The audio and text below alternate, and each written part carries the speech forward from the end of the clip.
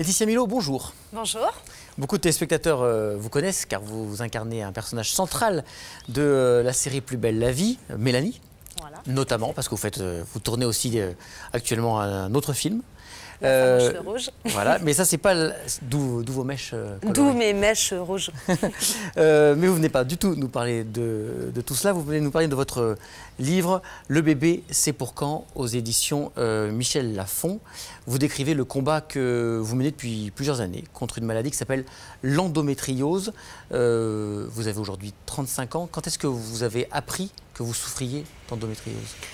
Euh, c'est très compliqué en fait. Les premiers symptômes sont venus vers 25, 26 ans et j'ai appris euh, vers 28, 29 ans euh, que j'avais une endométriose. En fait, il a fallu 4 ou 5 ans pour poser le diagnostic. Pour moi, j'ai eu la chance que ce soit au bout de 4-5 ans. Mais malheureusement, plein de femmes sont plutôt entre 6 et 10 ans. Ouais, c'est pour ça que vous vous battez notamment pour ces retards au diagnostic. On rappelle juste en un mot l'endométriose, il y a une muqueuse qui est à l'intérieur de l'utérus, euh, qui doit rester là normalement, et elle, elle va partir euh, dans l'endométriose, elle va partir dans les trompes, ce qui va entraîner des stérilités, elle va partir dans le ventre, ce qui entraîne des douleurs en général très importantes lors des règles, puisque finalement cette muqueuse va gonfler au moment des, au moment des règles, et au lieu de gonfler uniquement dans l'utérus, elle gonfle partout où elle va se trouver. Il y a eu un retard diagnostique alors que votre mère et votre grand-mère souffraient de la même maladie, non, non. Vous n'avez pas eu ça? Non, non, non, moi, ah euh, ma tante. C'est votre tante, pardon. Excusez-moi, je ne connais pas bien toute la famille. Mais après, euh, a pas un facteur. Non, mais enfin, vous auriez pu. Et elle vous en avait parlé, votre tante, ou pas? Euh, En fait, je l'ai su il n'y a pas si longtemps. Donc c'est après le diagnostic que vous avez eu. D'accord parce que du coup, elle n'en parlait pas spécialement, comme beaucoup de, femmes. Et en fait, euh, vous avez très bien résumé euh, l'endométriose, mais du coup, en fait, ces particules se transforment plus tard en nodules de sang ou en kystes. Et en fait, selon l'endroit où elles sont placées, donc ça peut être dans la vessie, ça peut être dans les intestins, dans le rectum, dans le vagin, ça peut monter jusqu'au poumon. Et en fait, selon où elles sont placées, ça peut être extrêmement douloureux. Donc du coup, euh, ça nécessite des opérations ou des traitements qui ne sont pas forcément très efficaces parce que malheureusement, il y a très souvent des récidives. Ce qui est très surprenant quand on lit euh, votre témoignage et puis celui euh, des femmes que vous avez rencontrées au sein de l'association dont on parlera tout à l'heure, c'est c'est la méconnaissance de la maladie auprès des professionnels de santé. Le nombre de gynécologues qui hmm. finalement répondent même parfois, c'est dans votre tête. Oui, en fait, euh, au début, à moi, on me l'a dit aussi, euh, au tout début, euh, les premières gynécologues que je suis allée voir, bah, c'était normal de souffrir pendant les règles, c'était voilà, c'était normal et, souffrir pendant les rapports ou souffrir, souffrir dans d'autres cas de, de, la vie intime, ben, c'était dans la tête. Euh, et, du coup, j'ai eu une bonne gynécologue au bout de 5 ans, 6 ans, c'est pour ça, et c'est elle qui m'a fait euh, les bonnes analyses et euh, une échographie, et c'est là où on a découvert que j'avais une endométriose. Et du coup, j'ai été soulagée à la fois de mettre un nom sur cette maladie, même si elle m'annonçait que ça allait être très difficile d'avoir un enfant et qu'il n'y a pas forcément de traitement très efficace pour cette maladie, mais au moins, j'étais pas folle. Et qu'est-ce qui fait que vous décidez de profiter de votre notoriété ou de faire profiter la cause de votre notoriété?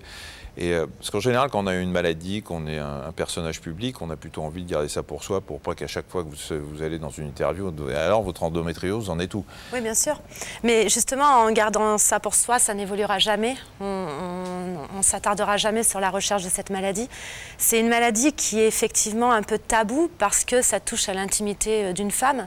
Mais en même temps, il y a plusieurs maladies qui touchent à l'intimité d'une femme et dont on parle. Donc euh, voilà, j'ai pris mon courage à deux mains et j'ai dit il faut en parler pour, euh, pour ces femmes qui sont atteintes d'endométriose avec des stades bien plus élevés que le mien. Et je pense aussi à, la jeune génération parce que malheureusement, en fait, de plus en plus de jeunes filles, dès les premières règles, sont atteintes d'endométriose. Donc certaines le savent, certaines ne le savent toujours pas. Et en fait, ça atteint de plus en plus de femmes. Donc aujourd'hui, le médecin donne 3 à 6 millions de femmes atteintes en France, mais c'est un chiffre qui est peut-être plus élevé. Et, euh, il faut absolument euh, qu'on s'attarde sur la recherche parce que c'est pas normal de, rester dans cette douleur. C'est pas normal que, que, enfin voilà, pour, pour, les femmes, en fait, c'est vrai qu'on s'est habitué à vivre dans cette douleur, mais ce n'est pas normal. Donc il faut rechercher, il faut et aussi je donne de, de l'espoir dans ce livre pour les couples parce que je tiens à souligner que c'est une maladie de couple. Et il faut que les couples restent soudés, communiquent, et voilà, il faut que le, compagnon soutienne, soutienne, sa femme et l'accompagne dans les, dans les démarches. Alors depuis quelque temps, vous êtes engagé aux côtés d'une association qui s'appelle Endo France. Tout à fait.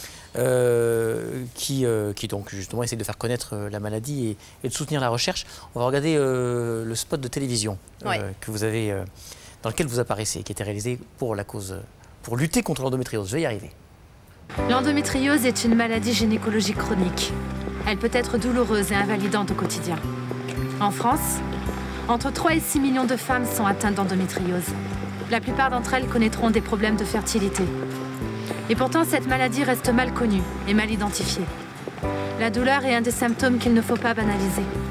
Ensemble, sortons cette maladie de l'ombre.